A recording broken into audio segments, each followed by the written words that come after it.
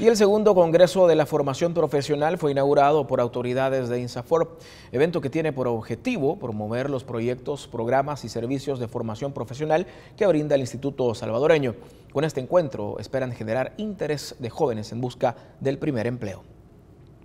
Es una oportunidad para que eh, la gente pueda llegar a ver la oferta formativa que estamos ofreciendo con todos nuestros socios y aliados y también es una oportunidad para eh, impulsar los nuevos programas que tenemos y también estamos trayendo dos eh, exponentes internacionales. La importancia de trabajar, como usted me dice, con los jóvenes es porque también viene la formación.